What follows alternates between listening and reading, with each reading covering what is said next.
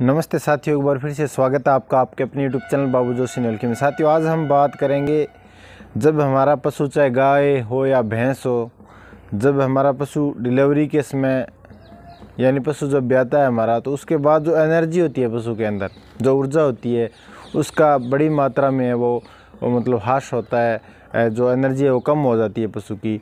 तो ऐसे में हम कौन सा काढ़ा जो हम घर पर बनाकर बिल्कुल कम खर्चे में घर पर हम काढ़ा बनाकर कैसे दें ताकि जो हमारा पशु है, वह एनर्जी भी वापस प्राप्त करेगा और साथ में आगे के ब्यांत के लिए भी अच्छे से तैयार होगा और जो पशु है वो, जो है वो दूध पर भी जल्दी आ जाएगा साथियों। देना है, मैं पूरा डिटेल में आपको बताऊँगा तो आप मेरे साथ बने रहना साथियों। तो साथियों, वह है फार्मूला तैयार करने के लिए जो हमें सामान चाहिए, वो मैं आपको दिखा देता हूँ। इसमें मैं सर्वप्रथम चाहिए मेथी दाना। मेथी बिल्कुल बारीक पीसी नहीं होनी चाहिए साथियों क्योंकि बारीक पीसी हुई मेथी है उसमें जो गुणवत्ता है वो थोड़ी कमज़ोर हो जाती है। इसलिए हमें थोड़ा उसको आ, मतलब थोड़ा दानेदार रखना है उसको गोल पीसना है थोड़ा उसको। और इसके बाद हमें लेना है हल्दी पाउडर साथियों। बिल्कुल पीसी हुई हल्दी जो हम रसोई में यूज़ करते हैं उसको हम काम में आसानी से ले सकते हैं। और हल्दी के बाद नंबर आता है साथियों, गुड़ का। गुड़ एक प्रमुख है, वो स्रोत है ऊर्जा का साथियों, पशु का जहाँ तक मामला है उसमें। तो गुड़ हमें है वो 400 से 500 ग्राम गुड़ है वो ले लेना है। तो गुड़ को हमें बिल्कुल बारीक थोड़ा कर लेना ताकि उबलने में आसानी रहे। उसके बाद हमें लेना है अजवाइन साथियों। अजवाइन हमें रखना है पचास सौ ग्राम। और उसमें साथ में ये आप सूंठ दे सकते हो सूंठ लेनी है हमें। सूंठ भी हमें बीस से तीस ग्राम ले लेनी है। उसके बाद ये जो काली मिर्च के दाने हैं, पाँच सात दाने, वो भी आप ले सकते हो, कोई दिक्कत नहीं है। और ये इलायची भी आप एक दो ले सकते हो। अब हमें इनको है वो ग्राइंड करना है, यानी इसको हमें बारीक थोड़ा पीसना है, कूटना है, चाहे जो भी आप सूंठ को हमें थोड़ा बारीक करना पड़ेगा।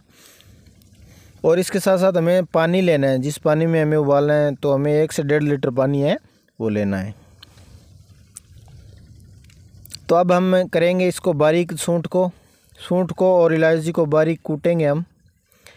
बारीक इसकी कुटाई करेंगे, उसके बाद है वो। मैं आपको दिखाऊँगा कि हमें किस प्रकार से पूरे इस, इन आइटमों को है वो हमें काम में लेना है।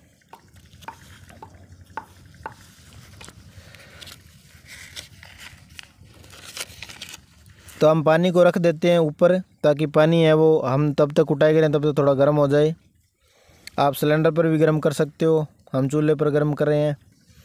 तो इस पानी में हमने गुड़ डाल दिया साथी ये देखिए आप गुड़ हम डाल रहे हैं पानी के अंदर। ताकि ये गुड़ अच्छे से है, वो पानी के अंदर मिक्स हो जाए। और हमें तब तक उबालते रहना है, जब तक ये पानी हमारा डेढ़ लीटर का है, वो तकरीबन सात सौ आठ सौ ग्राम, यानी एक किलो के तकरीबन रह जाएगा पानी। और इसमें जो चमचे की सहायता से हिलाते रहना है हमें। इसके बाद ये हमारी जो सूंठ हमने जो इसकी कुटाई करी है। साथियों, अब हम इस मिश्रण को है, अच्छे से जो तैयार कर लिया हमने तो अब हम डाल देंगे इसमें। तो हमने सूंठ डाल दिया, आप देख सकते हो। इसके अंदर इलायची भी थी दो तीन, और काली मिर्च है, वो पाँच सात आने थे। अजवाइन भी डाल रहे हैं आपके सामने, आप देख सकते हो। और इसके बाद हल्दी पाउडर है, वो भी हम इसमें पानी में डाल रहे हैं।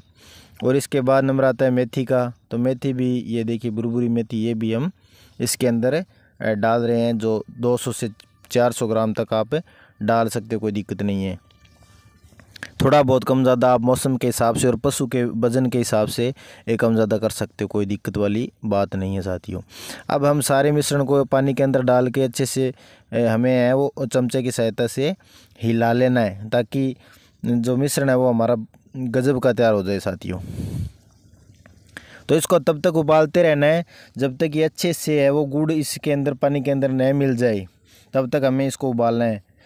उसके बाद हमें कैसे देना है और पशु को कितनी मात्रा में देना है, यह भी मैं आपको बताने वाला हूँ। आप मेरे साथ वो बने रहना।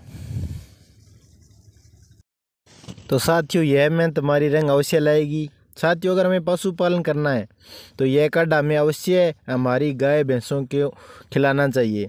क्योंकि जो डिलीवरी के बाद है, वो पशु कमज़ोर हो जाता है और उतना भोजन नहीं कर पाता है जितना पहले करता था। यानी डिलीवरी से पहले जो हम खान पान देते थे पशु को, वो अगर अब अब हम देंगे तो उतना वो नहीं खा पाएगा।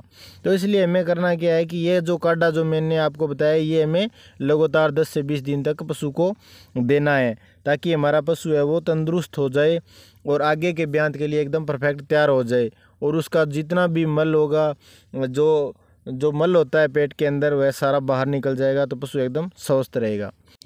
तो साथियों, तकरीबन 20 मिनट उबालने के बाद हमारा काढ़ा बिल्कुल तैयार हो चुका है, और अब हम देखते हैं कि हमारी गाय खा पाती है या नहीं। तो हमने इसको तसले के अंदर, चाहे बट्ठल के अंदर कहीं, आप डाल लिया हमने। और अब हमने इसको चेक भी कर लिया है, ये बिल्कुल गुनगुना है। आप देख सकते हो, बिल्कुल गुनगुना है इसको। तो अब हम इसको गाय के पास ले जाकर गाय के आगे रखेंगे तो देखेंगे कि गाय खा पाती है नहीं। देखिए साथियों, बिल्कुल गाय खा रही है, क्योंकि इसका जो स्वाद है, इसका डेगा, वही दी है जो हमने हल्दी और जो काले मिर्च, इलायची डाली थी, इससे इसका स्वाद भी थोड़ा बढ़ गया साथियों। तो ये बिल्कुल गाय हमारी खा रही है। तो साथियों, यह वीडियो अगर आपको अच्छा लगे तो आप वीडियो को लाइक ज़रूर करना और ज़्यादा से ज़्यादा किसान भाइयों के पास शेयर कर देना, ताकि यह कीमती वीडियो है वो वो सभी किसान भाइयों के पास पहुँच सके। धन्यवाद। जय हिंद, जय भारत।